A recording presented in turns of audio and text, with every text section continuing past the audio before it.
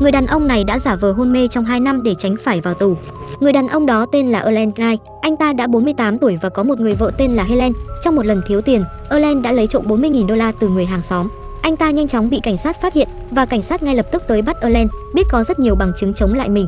Và để tránh phải ngồi tù, Erlen đã khai báo rằng mình bị mắc các bệnh suy nhược như tứ chi bất toại, co giật và chuẩn bị rơi vào hôn mê. Để giúp chồng trốn tội, vợ của Erlen là Helen đã làm thủ tục cho Erlen nhập viện trong 10 tuần với lý do chồng mình bị bệnh co giật.